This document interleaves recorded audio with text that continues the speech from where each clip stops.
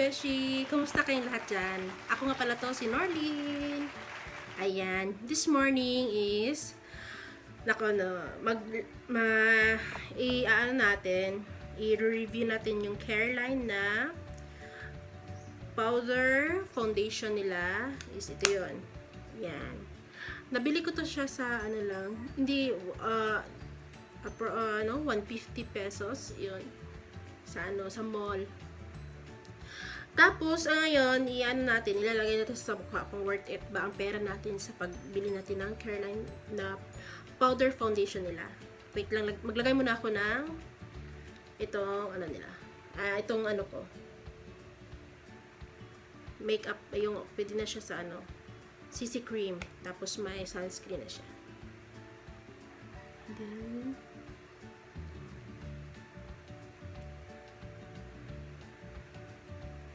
konti lang. Kasi dito lang man ako sa bahay. Tapos, hindi masyadong mainit. Kaya, hindi ko na sobrang damihan ang paglagay ko. Ito lang, ganun. Ayan.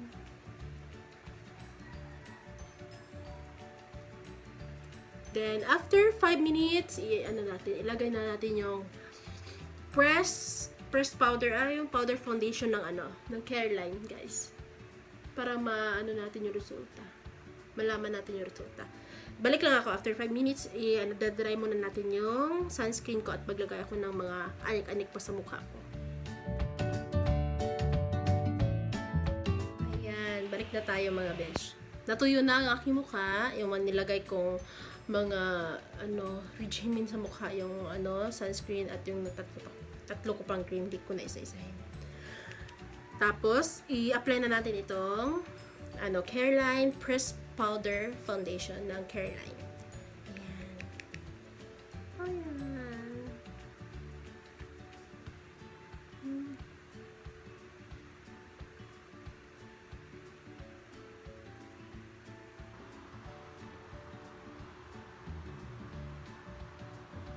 Pinalitan ko ang sponge, hindi na to yung sponge na nasa original niya na packaging. Ito na yung ginagamit ko kasi gusto ko siya.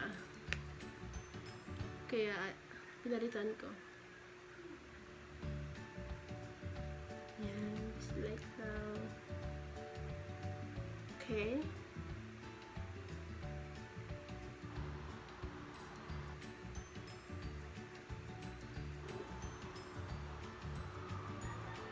That's all. Yan, focus natin. Ayan. Uh, ako kasi sobrang oily ng skin ko, kaya gusto ko yung skin ko, yung maano talaga yung oil. Kasi pag yung hindi powder base yung gagamitin ko, grabe ang oil, pati yung pawis. As in, tagaktak talaga.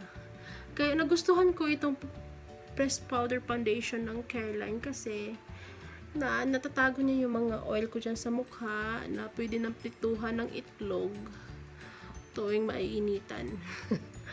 Kaya iyan. Yan lang naman ang resulta sa aking mukha. Yan lang nilagay ko ha. Sunscreen at yung ano ko, moisturizer. Ayan. Hindi ko alam kung ano sa mukha niyo hiyang. Pero sa akin, gusto ko kasi siya. Kasi nga, yun nga, oily ang mukha ko. Try nyo din from oily to normal skin. Yan. Yun lang mga besh. Thank you for watching.